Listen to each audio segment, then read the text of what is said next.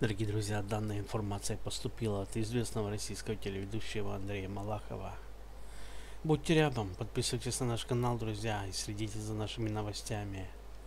Только мы сообщаем о том, что на самом деле происходит в российском шоу-бизнесе.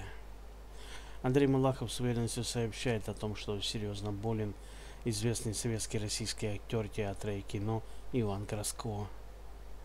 Уже когда-то ранее мы сообщали о том, что он серьезно болен, но затем была информация о том, что он выздоровел и чувствует себя хорошо.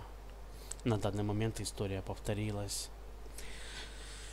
Говорят, что Иван Красков сейчас проходит обследование в 28-й городской больнице города Москвы.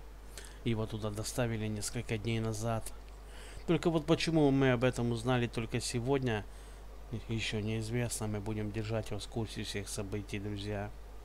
Подписывайтесь на наш канал, ставьте лайки, нажимайте на колокольчик.